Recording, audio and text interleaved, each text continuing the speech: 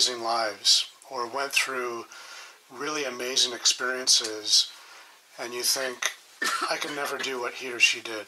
I just, my faith isn't that strong. Or I just, I wouldn't have been able to deal with it the same way that they did. but I think if you take some time and you just meditate on the scriptures and meditate on those stories, you realize that when you look at those situations, there's a lot of things that we can take today and apply them to our own lives and be as effective for God as those men and women are in, in God's Word. And so today I want to read in Second Chronicles chapter 20 and look at the man Jehoshaphat and some one experience that he went through and take a few lessons from how he dealt with that situation. So Second Chronicles chapter 20, starting at verse 1. Now it came about that after this, that the sons of Moab and the sons of Ammon, together with some of the Meunites, came to make war against Jehoshaphat. Then some came and reported Jehoshaphat, saying, A great multitude is coming against you from beyond the sea, out of Aram and beyond. They are in Hazazon, Tamar, that is, Engedi. Jehoshaphat was afraid and turned his attention to seek the Lord and proclaimed a fast throughout all Judah. So Judah gathered together to seek help from the Lord. They even came from all the cities of Judah to seek the Lord. Then Jehoshaphat stood in the assembly of Judah and Jerusalem in the house of the Lord before the new court.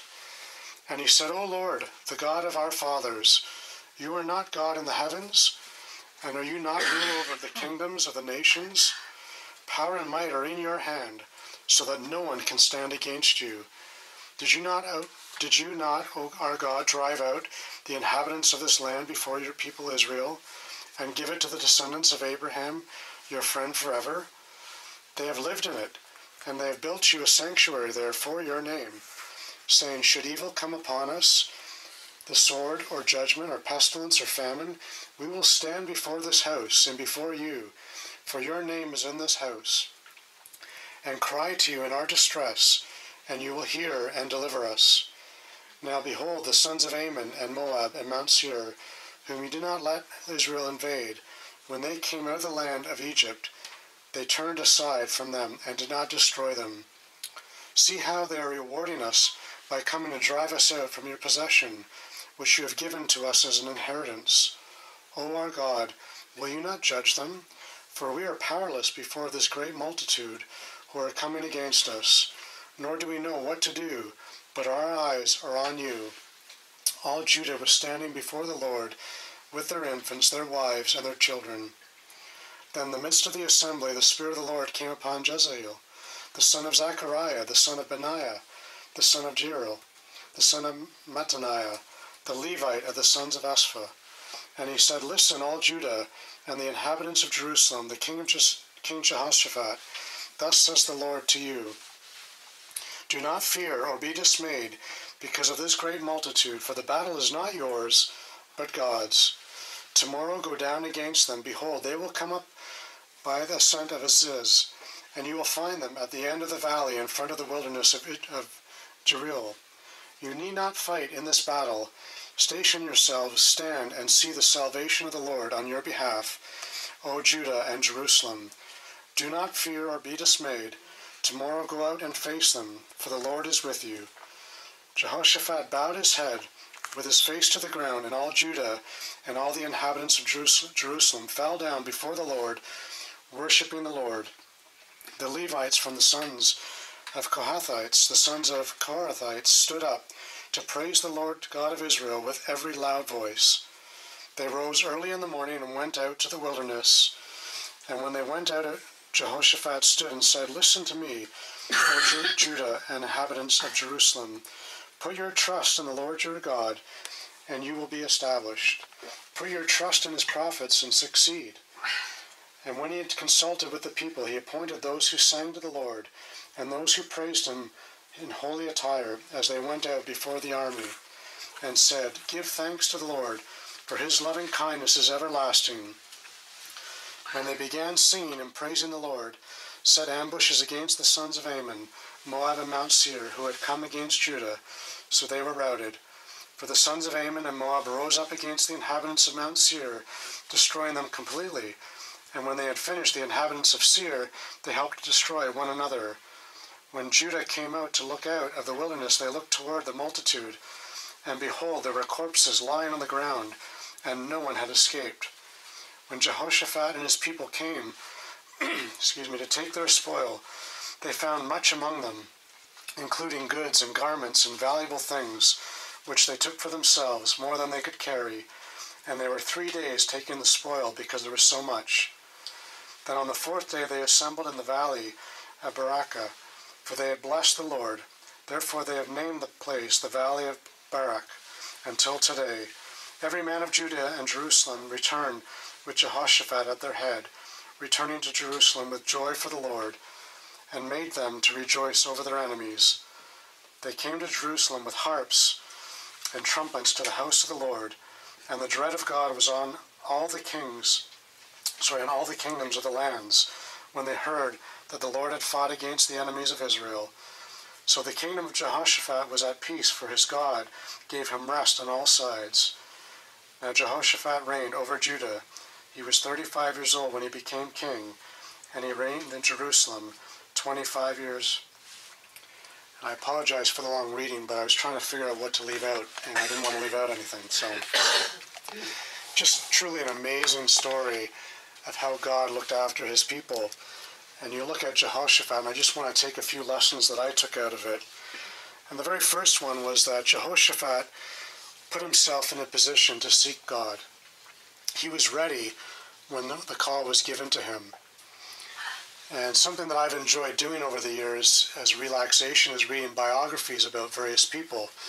And one that I read about a year or two ago was about a man named Jeff Bezos, uh, who some of you might know, Him? who started Amazon. But the other thing about Jeff Bezos is that he was, his company was everything to him. And everything he did in his life was to make sure that everything went well. And the amazing thing is that it was important to him that he said, each day I need to put myself in a position to make three important decisions. That's it. Three important decisions. And everything he did in the day was geared towards making those three important decisions. Hmm. When he went to bed, when he woke up, when he had those meetings, it was all focused on making sure that those three meetings went well. Jehoshaphat was told that this army was coming, and the first thing he did was seek the Lord. And my, my message to you today about that is that seeking the Lord is not a switch that you can turn on and off when you need to. You need to be ready. And what do we do day in and day out as far as preparing ourselves when trials come in our lives? Are we ready to seek the Lord wholeheartedly when those trials come?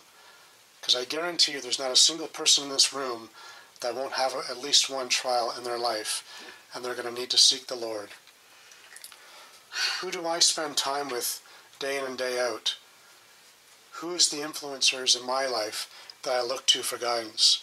What does my day look like? Do I center my life around serving the Lord and seeking Him?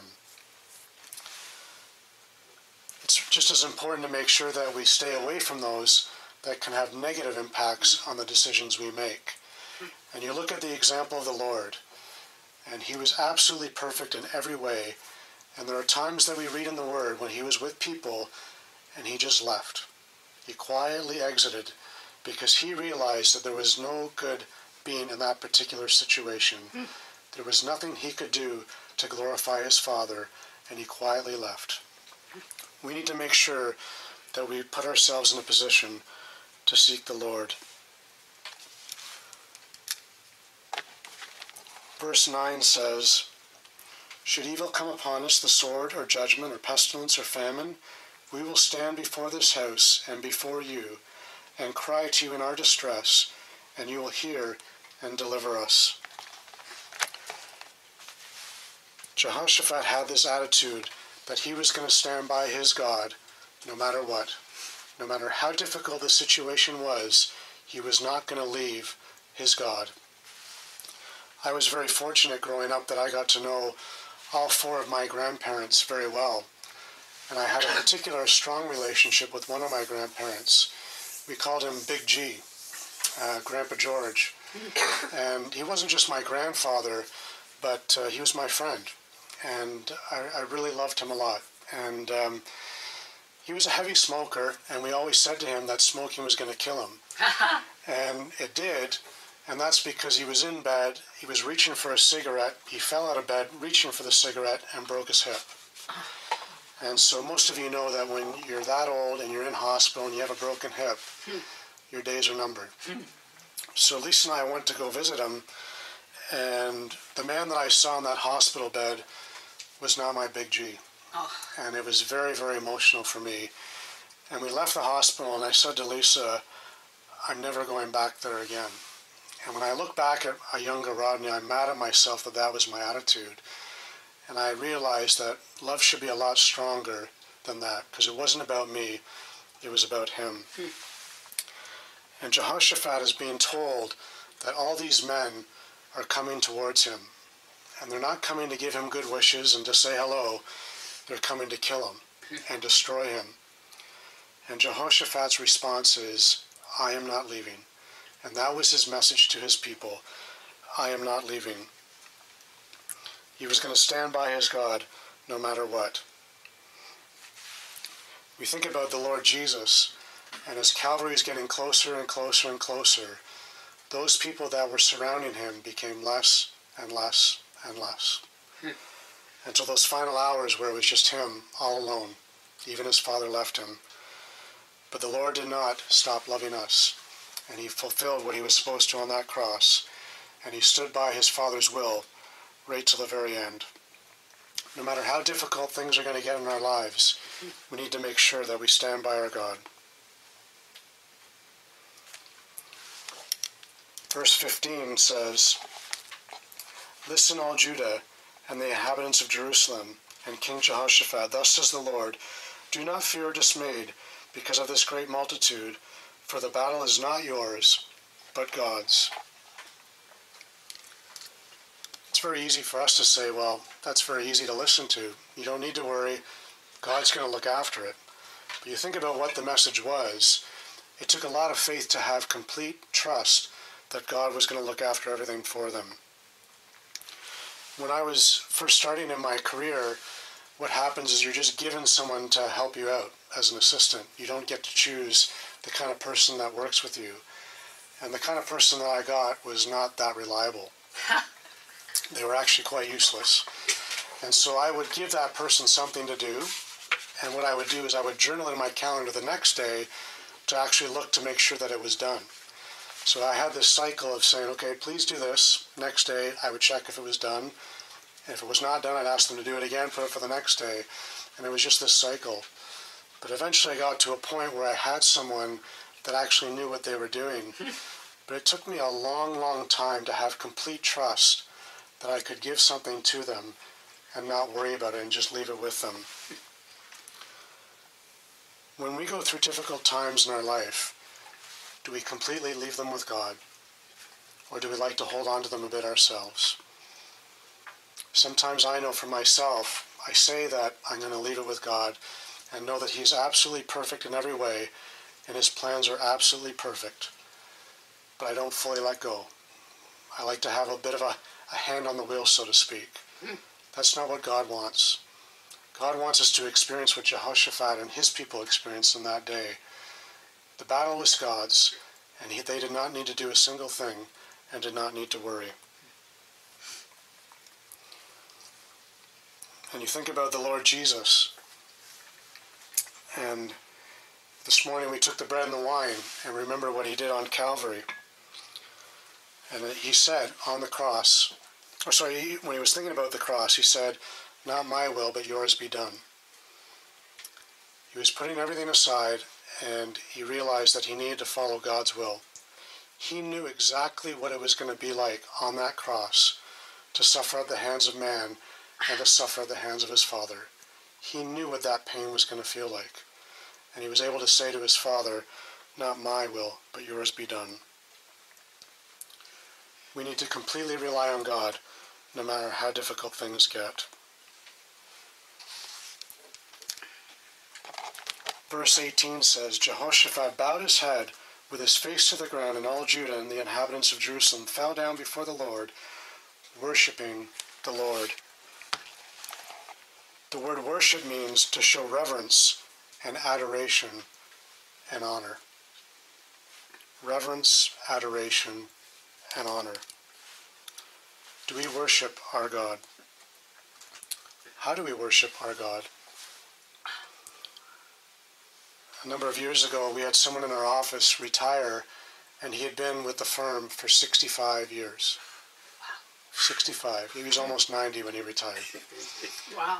And the management was trying to figure out how do you show someone like that who spent their whole career in one place and their commitment, how do you show someone respect to say thank you for all that you've done?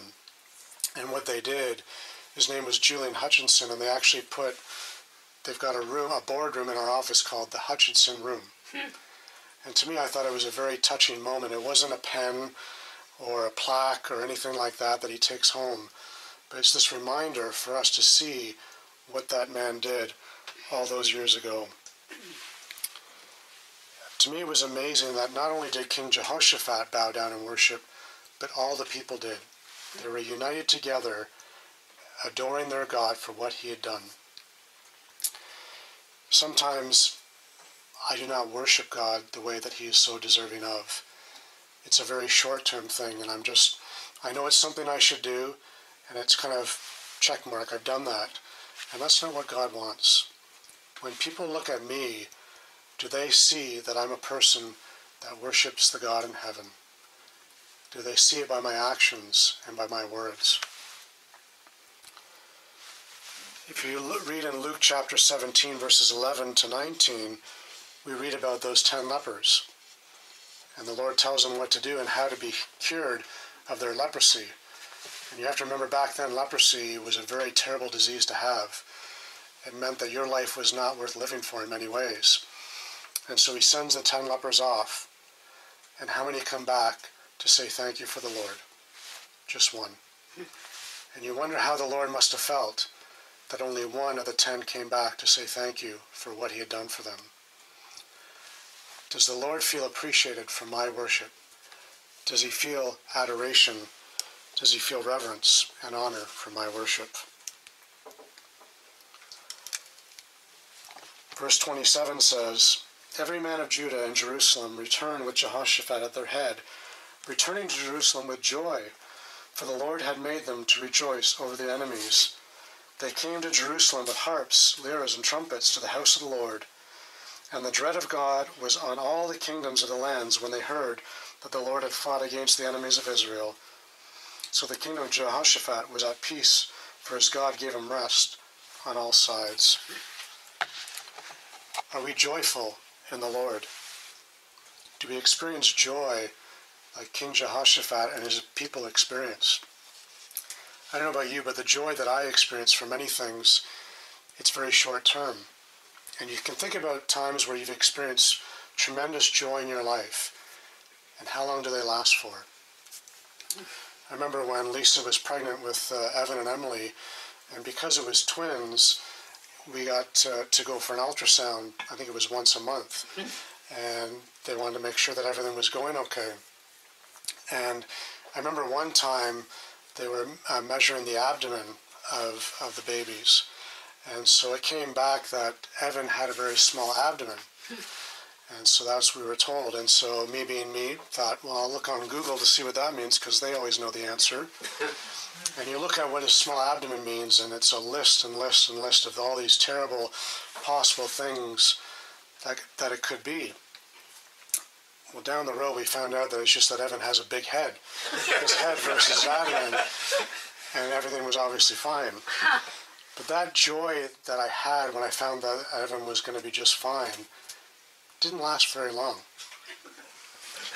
Oh. And I think you know what I'm saying is that these joys that we experience when, we, when, we're, when we're worried and then we have the joy when we realize that things are going to be okay, those are very short term things. When you read about Jehoshaphat and the joy that they had after this battle, it seems to me that it was very long lasting. And they came back and they were singing and they were dancing. But it says they had peace the rest of Jehoshaphat's life. And I don't think that Jehoshaphat forgot what God did for him that day for the rest of his life. Do we take time every single day in the peace and the joy of the Lord that we have? Think about what we have to look forward to in heaven for eternity. Sometimes I think about eternity and I just can't get my head around it because it's just, it's so different. And the idea of experiencing that joy forever and ever. And you think about the Lord Jesus on the cross. And sometimes I know from past experience that we're going through such difficult times. It's so difficult to experience the joy of the Lord when you're going through those difficult times. But you think about the Lord Jesus and he's nailed upon the cross and the suffering and the pain, and he sees someone beside him. And he takes the time to say to that man, You will be in paradise with me. He uses the word paradise. He's all alone and he's suffering, and he says to that man, You'll be in paradise. If the Lord can go through all that and still think about paradise and having that man be with him one day, there is nothing in this world that we go through that we can't still experience the joy of the Lord. Finally, in verse 32, it says, He walked in the way of his father Asa and did not depart from it, doing right in the sight of the Lord. He did not depart from it, doing right in the sight of the Lord. We need to stay faithful in the Lord. We need to stay faithful in the Lord. I really enjoy watching movies that are based on true stories. And um, one movie that I've enjoyed a lot is a movie called Secretariat. Mm-hmm. And I'm quite surprised that I like it because I actually hate horses. But it's about a woman who loses her mother. And so she goes back to be with her father. And it's on this beautiful farm. And her father grew up racing horses and so on. And to make a long story short, what happens is that her father ends up passing away. And she decides to look after this farm. And there's this one particular horse that she gets her hands on hmm. and raises it. And she gets a lot of pushback. And what's amazing about this woman is she's not doing it for the money or the fame or the recognition. Everything she does, she's thinking about her father hmm. and how he would have carried out his life in this particular situation. Even her own family starts to resent her because of all the time and energy she's putting in to this one this one horse. But she's thinking about her father and honoring her father and what he would have wanted. We live in a world where it's becoming more and more difficult for us to stay faithful and honor our Father in heaven. In some areas of the world, you can be put in prison or killed if you stand up to be a Christian. There's so many distractions out there. But I would argue that we can be very faithful and, and to our Father, and we can bring people to Christ by just living a life that's very humble and dedicated to serving Him. You do not need to have the gift of standing on a corner and preaching the gospel. That's not my gift. But I think if you live a life where you're caring and humble, you will stand out to those in the world today. That woman did not care what other people thought. She wanted to honor her father and his legacy. The Lord Jesus, when he was here on this earth, many people considered him a rebel. And what he said and what he did was so different than what anyone else did. But he loved us. And he was here for one reason, and that was to bring us to his Father. All he cared about was bringing glory to his Father and dealing with our sin. Jehoshaphat was a very amazing man. He was a leader and a king. And it's very easy for me to look at him and say, I could never be that man. But when you look at the way he lived his life, these are all things that each one of us can do, no matter how old or how young we are. They're very simple things that we can put in our lives every single day. Shall we pray? Oh God, our Father, we just want to say thank you for your word. And oh God, it's the living word. And it's living because we can read about it and read about people that lived many, many years ago And, oh God, they can change the way we live our life. Oh God, your desire is for us to live like your Son, to live your, our lives like your Son did. It's a very high bar, but oh God, you give us your word, and you give us examples of how to do it. So we just pray that we'll learn from examples like King Jehoshaphat to live our lives like your Son. Oh God, we know that there's a day coming when you are coming for us, and it says we'll be transformed. And oh God, our prayer for each one of us here today would be that that transformation would be very small because we'll be living so much like Him that we will not need to be changed much. Oh God, please be with us as we go our separate ways now, we ask. In the name of the Lord Jesus. Amen. Amen.